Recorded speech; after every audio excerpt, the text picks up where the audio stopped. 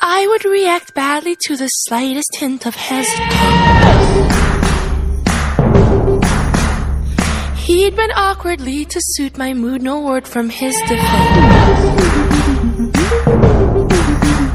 I'd cry knowing how my tears felt like acid burning through his skin.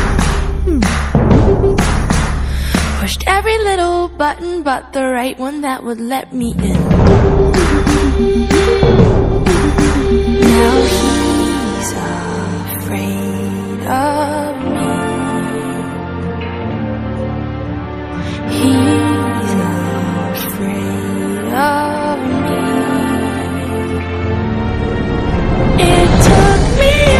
Surprise.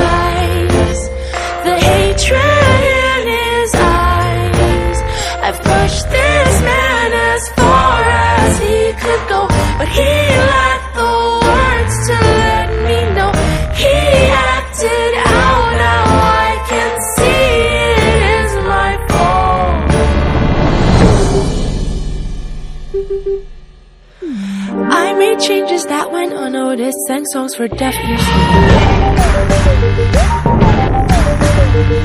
Mistook my silence for punishment as it had been years. I'd cry knowing how my tears felt like acid burning through his skin.